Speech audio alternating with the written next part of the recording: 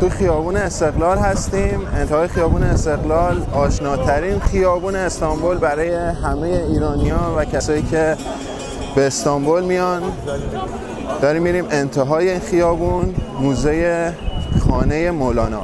بریم ببینیم چه خبره.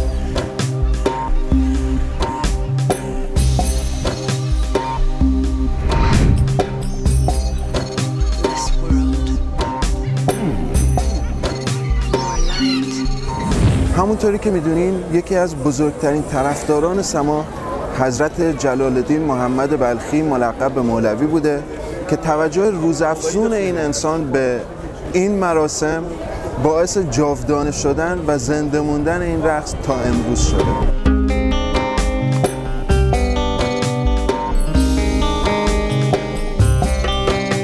این دایره ای که دراویش توش مراسمشون رو اجرا می‌کنن نمادی از کمال و ابدیت مثل زمان مثل خدا.